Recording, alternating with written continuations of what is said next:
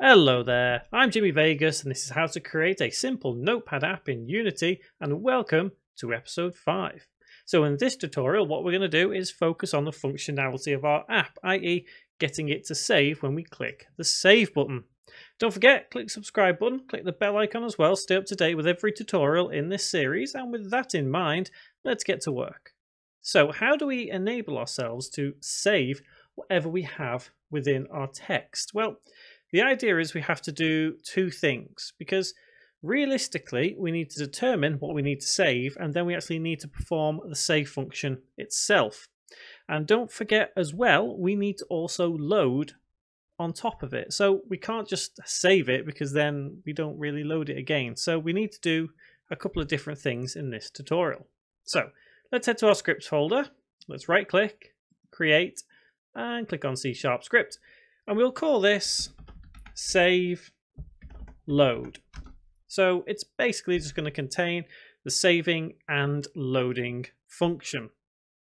Now we have to do this uh, slightly different than how we've done previously in our other script because if you remember although we have a uh, function on there which is the button control right here which is our own method we called it clear text we have to use the start method to actually load the data in but first we have to actually save it realistically we can get rid of void update and the annotations because we, we don't actually need them so as we do this, we need to first realize that we are using UI functions. So just like in button control, we put the namespace at the top. We need to do it here as well. Using Unity engine dot UI semicolon. Now, what we need to do is declare three separate variables. So the first variable is going to be a string, and a string is a way of basically saving any kind of text. So it, it could be number, it could be a text, it could be anything, as long as it defines it as a block of text. So the actual um, file itself is going to be contained with text. Even though it could just be numbers, it's going to save it as text. So let's start by going public string. Remember, that's a lowercase s because capitalization is important. I'm just going to call this the text, semicolon.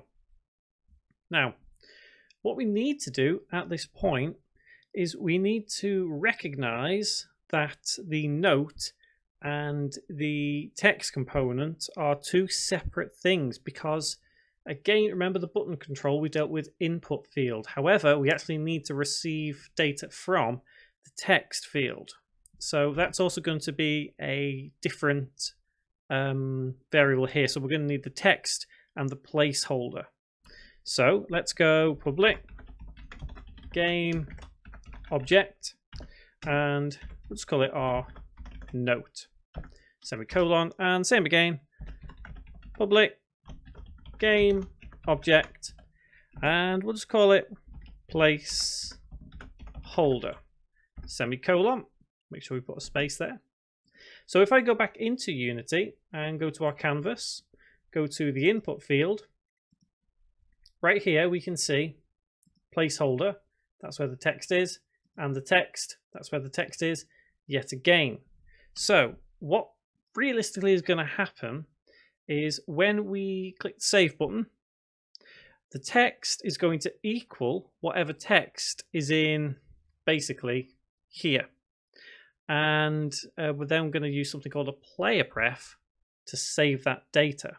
Because much like the button control if we go on app controls here and the input field that is where we're going to deal with placing the text and even though it's just placeholder I've called it placeholder I should say we're going to replace what placeholder says with whatever we save so let's get this actually working now we don't need void start right now we're going to go public and void. And we can call this something that we're going to use. So save note. And open close bracket and open curly bracket. So it would make sense to call this save note because that's exactly what it's going to do. So this means that we have to make the text equal to our note dot get component and in spiky brackets, text. Open close bracket, dot text, semicolon. So now we, like I said earlier, we use player prefs to set this. And the way player prefs work is we can declare that we want to set either like a string or integer if we want to do an integer that would be but obviously this is a notepad so that wouldn't work here.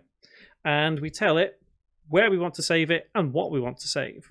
So we do that by going player prefs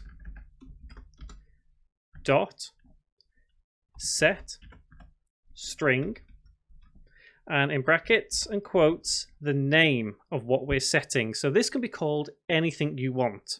I'm going to call it note contents now, we have to make sure that we remember what we're calling this. We absolutely have to remember it letter for letter because if we misspell it at any point later on in the script, then this whole thing will not work.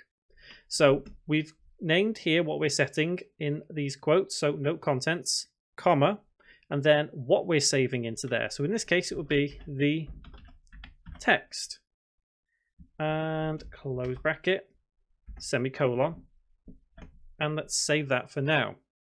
I realize at this stage in uh, script development, if you've never uh, you know been coding before, it may become a little bit confusing because of the different things we're doing here. But I just want to assure you here that everything we're doing, I'm trying to explain the best I can. Player prefs are always going to be used for saving or transferring data. And remember, components are vital here because they are what contain the subcomponents and the information contained within those subcomponents. So realistically, what this method is doing, it's taking whatever is in this component and placing it in this variable. And then what this line is doing is making up a new file name and like think of it as an internal file name and placing that information from the variable into that file. So now what we need to do in void start is do the inverse of that and load the player pref to load our text. So to do that, what we need to do is make the text equal to the uh, actual player pref itself. So it works along the same way. So player prefs dot get string so remember, set is to create, get is to load. And in brackets and quotes, the name of what we say before. I always like to copy it, just in case we misspell it at any point. And then quote, close bracket, and semicolon. So now that variable is equal to what we've said. And at this point, we can use the same sort of line that we did with the button control one when we cleared it. So we would have placeholder dot get component and in spiky brackets it's going to be input field so input field open close bracket dot text equals the text semicolon and save that script so here we can quite easily see the process of what's happening. So you can think of it as we are literally doing the inverse, just with a quick modification when we're loading the text.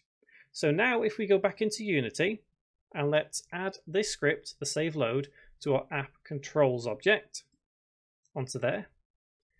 And now we just need to set those two variables. So if you remember, the text itself, that input field, that's going to work the same way as the placeholder. So we need to drag and drop input field onto there. And our note is going to be, well, let's have a quick look, shall we? So if we load up the app, we can already see what's happened there. So I've been testing this, obviously, and we know how this all works.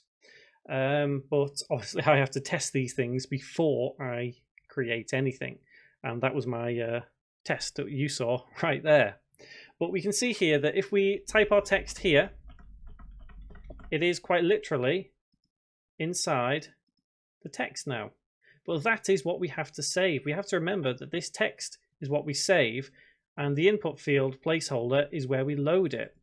So if we go to our Note app now and just make sure here, this line right here, the text and input field, these are the two most important things that you have to remember. Cannot stress that enough. Although it may seem like it should be the same, it isn't. It's just how this works functionally. So our note is going to be the text right there and I'm going to save that scene. When I press play now, it's obviously going to load up what I've previously done and got in the player prefs once again, but you can see we can still type and do anything.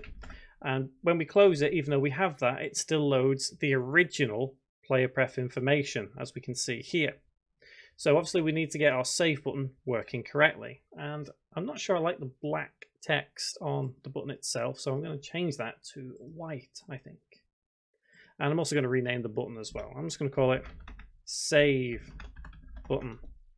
So now we have to get this working. It already has the app controls attached to it, but it currently has the clear text. It's a duplicate of this clear button.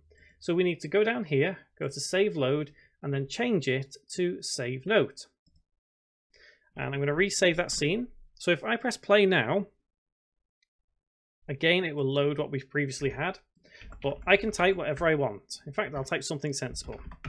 Jimmy has a new app. This notepad app.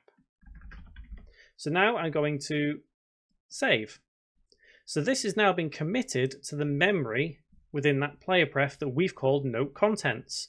So even if we come out of this and press play again, it should load in Jimmy has a new app this note paid, even note paid. so we've made a mistake there. So let's change that back to notepad. Click save. That will now be committed to memory. So it will remember that we've made that change and it will load it right there. So even if we completely delete that and close it and press play again, it will still remember. So let's press clear and save and then let's exit the app and then let's start up the app again and we'll have a blank canvas to work on. So that is the functionality of being able to save whatever you've got in your notepad. And I think that is the most important feature of actually having a notepad app because what's the point of having a notepad app if it doesn't save what you've typed? So next tutorial, what we're going to take a look at is we're going to work a touch on animation and we're also going to deal with the close button as well as like a little pop-up notification to say, do you want to save or do you want to exit? Just give it a little bit more something to it. So until that next tutorial, guys, remember you can always get this script on the website if you have any problems. So until next time, see you around. Thank you very much for watching.